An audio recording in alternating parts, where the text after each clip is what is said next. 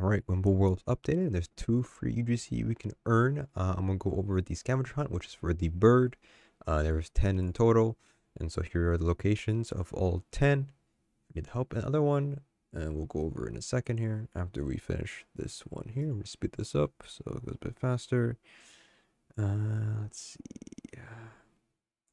There we go. So we have two. We got the two already. One at the spawn, one outside the shop, and inside the shop there's one more pigeon in there. Then we'll head outside. There's going to be a pigeon at the courts at the back here.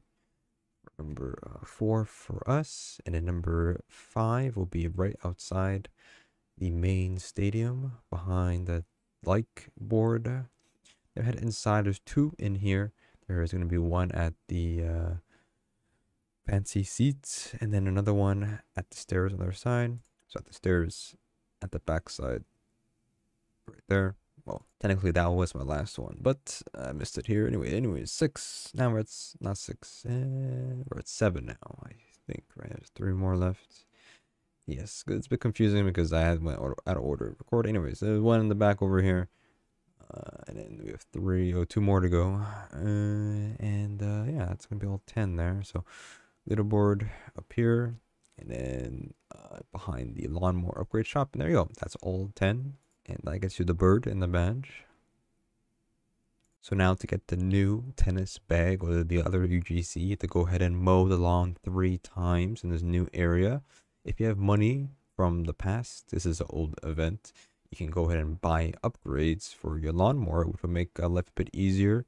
Uh, I think you just, I don't know if you can, you can uh, I'm assuming you can skip and just go to the third one if you can afford it. But I just bought the ones before it I don't know if you're if you're supposed to, but whatever. Anyways, I got to buy a third more upgrade. It makes things a little bit much easier and faster. And if you have played the game before, it does save your tracked three or you see the play. The other objective is to play three tennis matches.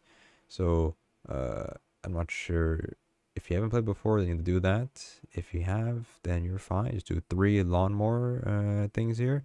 Once you finish the grass, though, you have to uh, mark the court. So uh, you have to go back to the middle here and interact with the mark thing, and then you're good to go. And then if you want to wait for the timer, you can. And then if the timer is going down, you have to. I don't know. Competitive, it might work as three, but I don't know. Up to you.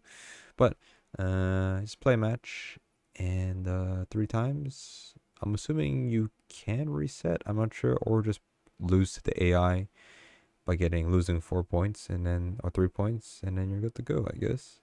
So you can see we're finishing my third uh, court, and then there you go, tennis bag There's a badge.